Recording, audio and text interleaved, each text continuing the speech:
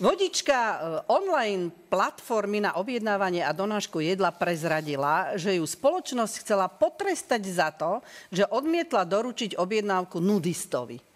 Citujem dotyčnú vodičku. Pri čakaní na jedlo v reštaurácii som dostala správu od zákazníka. Aby ste vedeli, som nudista a otvorím vám nahy. Odpísala som mu, že nech zabudne a volala som do firmy. Tam mi nariadili, že nahota zákazníka nie je dostatočný dôvod na zrušenie objednávky a ak to urobím, moje hodnotenie sa zníži. Tak som tam išla, nechcem prísť o prácu. No tej samotnej dodávke, ako to prebiehalo, už táto správa nehovorí ani o tom mužovi, čo s tým hotdog, ho, hotdogom stál v tých dverách. Smiala sa tvojmu párku. mne, mne volala, ja som jej poradil, čo má no, urobiť. Aj to urobila, áno. Išla tam, lebo však nechcela prísť o prácu a z toho, ako sa tu píše, jeho hotdogu urobila mu 5 porcií kebabu. Ja som bola navštíviť jednu moju kamarátku, otvorila mi dvere a bola absolútne nahá. A ja som bola pre Krista rany. Jak je toto možné? Však mohol prísť poštár, jak by to do, bolo dopadlo. A ona hovorila, no ja som čakala iného pána, ale ten, keď nepríde, bude dobrý aj poštár. ale jeden, jedna pani tiež chodila po byte absolútne náha, prišiel manžel a hovorí, čo chodíš tu náha po celom byte, však prečo? No, keď nemám čo na seba, akože nemáš. Otvoril skriňu a hovorí, jedny šaty, druhé šaty, tretie šaty, ahoj Fero, štvrté šaty.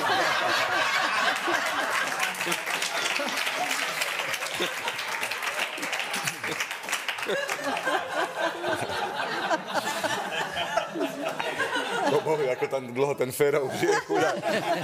More ho žrali. No. Ale e, keď, už, keď už sme pri tej nahoti, tak mňa e, prekvapuje, neviem, či ste si všimli, že keď pozeráte hociaký film, tak predtým e, vždy príde také varovanie, že, že môže mm. obsahovať mm. nahotu. Áno. A mňa to vždy fascinuje, že ako to zasadá niekde nejaká komisia, ktorá to pozerá a nie je si istá, že či, to, či tam niekto nahý je, alebo nie, že môže obsahovať, tak je to nahý človek, nie, akože oni nevedia. Ale bol som nedávno u Tomáša na návšteve. Predstavte si, on má už 3 mesiace na televízore pauznutú jednu scénu z 50 odtieňov šedej.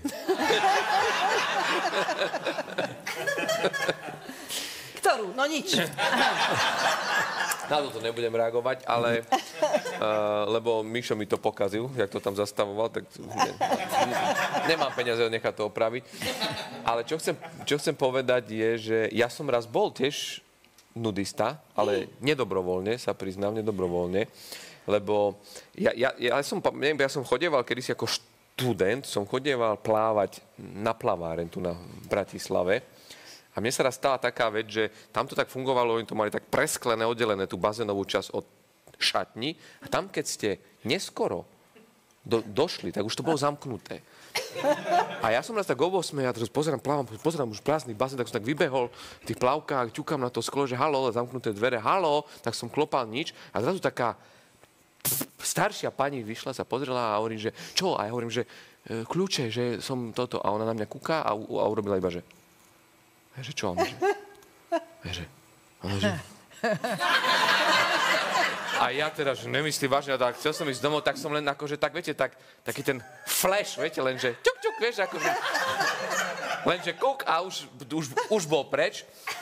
A ona sa usmiala a odišla. Sram išla po kľúče a zase dlho nechodila. Tak znovu ťukám, že halo. A zrazu vyšla op- upratovačka v takej zástere a hovorí, čo vy tu ešte a toto. A ja som odomkla mi, hovorí, no tak hovorím, som vašej, vašej kolegyni vravela, ona niekam odišla, nechodila, jakej kolegyni, však som tu len ja. A, a striedam sa z gitov a tá je tu stredy a piatky.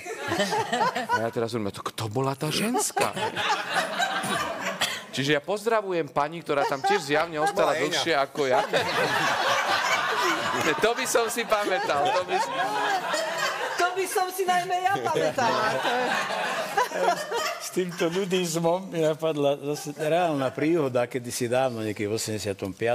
sme boli taká partia, v e, bývalej Juhoslávii, teda v Chorvátsku.